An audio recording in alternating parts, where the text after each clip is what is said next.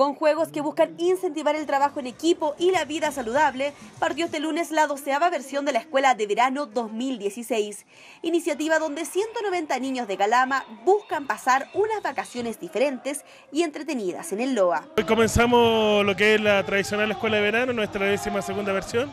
con un quórum más o menos de 190 niños para hacer primer día lo que nos parece y estamos bastante satisfechos y 50 voluntarios que están repartidos dentro de las cuatro alianzas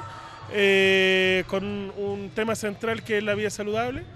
Y felices porque comenzamos con toda la energía, con todas las ganas de esto y, y esperar que, que todos sigamos así hasta el término de esta misma iniciativa que es el 5 de febrero actividades que se están desarrollando en la Escuela D37 República de Bolivia, donde a través de la creación de cuatro alianzas, verde, roja, amarilla y azul, los niños conocen la instancia de trabajo en equipo, donde al final del verano uno de estos equipos será coronado como la alianza ganadora del verano 2016 en la ciudad. El 70% corresponde a niños matriculados acá en la Escuela República de Bolivia. El otro 30% corresponde a familias que han ido a inscribirlo de manera espontánea a la IDECO o bien que se han acercado tanto el día de hoy como mañana también a inscribirse acá en la propia escuela. Si usted quiere inscribir a sus hijos o ser parte del equipo de la escuela de verano, todavía lo puede hacer dirigiéndose este martes 12 de enero de 9 a 12 horas a la Escuela República de Bolivia ubicada en calle Sotomayor, número 2254. Una forma entretenida de pasar estas vacaciones 2016